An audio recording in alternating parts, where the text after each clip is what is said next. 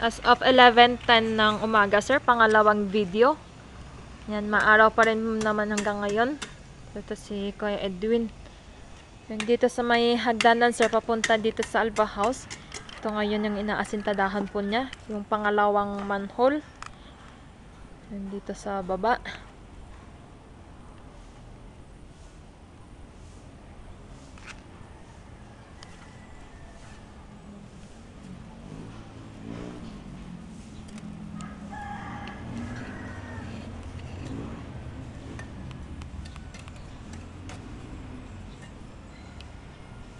Yan, yung riprap dito sir sa may hagdanan, naumpisa na ni Kuya Edwin na lagyan ng semento.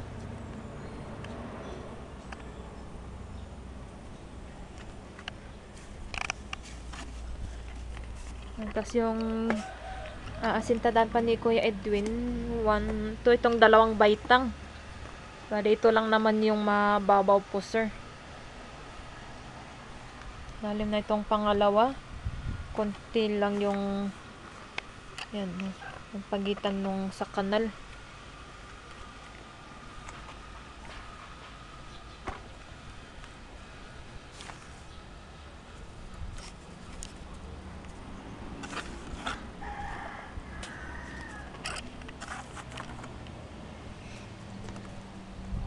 Tapos pag naubos na yung halo ni Kuya Edwin, itong railing sir, dito sa Alba House. Ito ngayon yung pipinturahan po niya.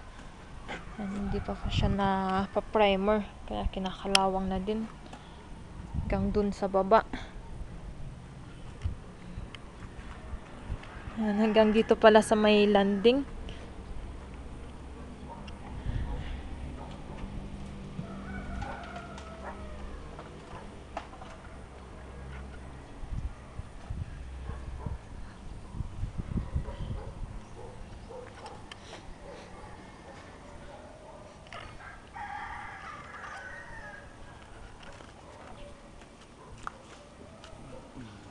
Na. Ay, kung babangga. Hindi naman. Sakto lang.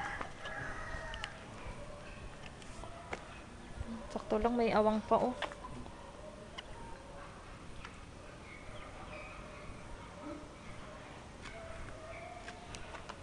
Yung unang manhole naman, na palitadahan na po to ni Kuya Edwin. Yan po yung unang manhole. So, i-finish na lang po ni Kuya Edwin mamaya pag medyo natuyo daw yung semento.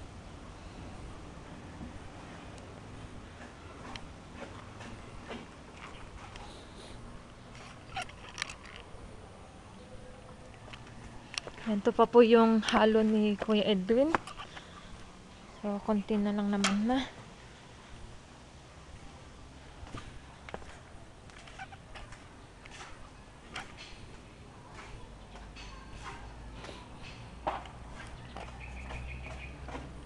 Yan, si Kuya Al naman po sir, dito nag-aayos sa bodega.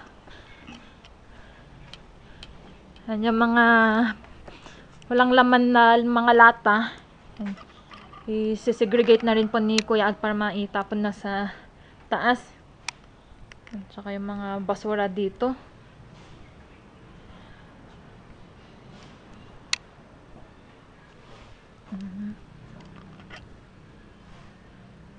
Naghalo-halo na yung mga gamit dito sa bodega. So, ito ulit yung aayusin ni Kuya Al.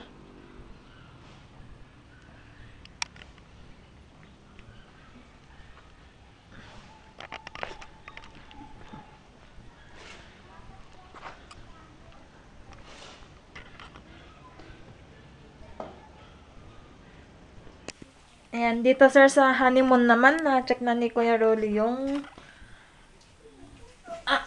toilet po ng honeymoon dito. Yung problema lang pala yung gasket, yung rubber, Okay po ito. basa. Yan Kasi yung flush niya, napalitan naman bago, no? Yun yung lang yun. gasket lang yung nagkakaproblema, yung rubber niya. Yung nagho-hold Pero okay. sa flapper. Try mga alika, i-flash. Basa eh.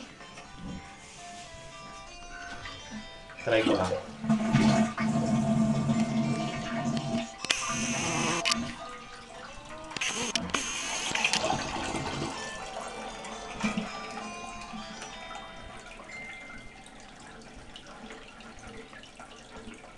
Yes na. Hmm, Tumigil naman, nagkakarga na ng tubig. So, um, okay naman na ngayon. So, obserbahan kung magkakaproblema pa ulit. Okay na kaya. Ngayon sabi ko kay Asa Kabak, Ah, yan, andito ako ngayon, sir, sa parte 1. Yung sinasabi po nila, Sir Rodrigo dito, yung kesame, yung nagtutuklapan dito sa may dining nila. Dito bang buksan ko yung ilang?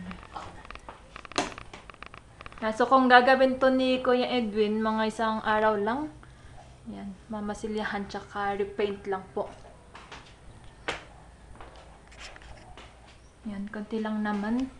Tsaka dito sa may CR, papunta sa CR. Ano. So, mga isang araw lang magagawa to ni Kuya Edwin. One, two, tatlo. Hanggang dito sir sa may bungad. Tapos dito sa room 3, yung mismong kwarto nila Sir Rodrigo. Asan? puno ng scotch tape po. Ay, puno na nga ng tubig. Oh. Mm. Yan yung kesame nila dito, sir, may butas. Eh, dito daw tumutuloy yung tubig mismo pa sa may higaan nila. Yan, eh, tinakpan lang nila Sir Rodrigo. na Anong scotch tape? Scotch tape na may tissue. Scotch tape na may tissue. Para Hindi, gusto ko magawa na siya ngayon. Kasi. Mm. Katapos nagra-run yung water sa ano, tumutulog kasi ito. Tingnan mo. Nabasa. Pinagbagong palit na to. Kasi yung una, super dami. To sa ganun. So, yan yung mga gagawin dito sa apartilon.